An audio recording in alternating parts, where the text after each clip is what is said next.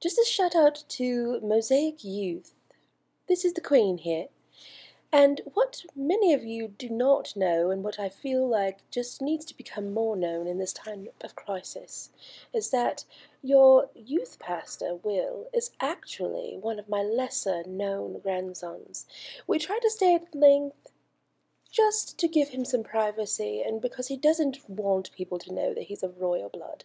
But during this time, we felt that we should reach out and to let all of you know that we love you. We are praying for you. And listen to what he tells you. Stay in your Bible and your word and reading. We love you.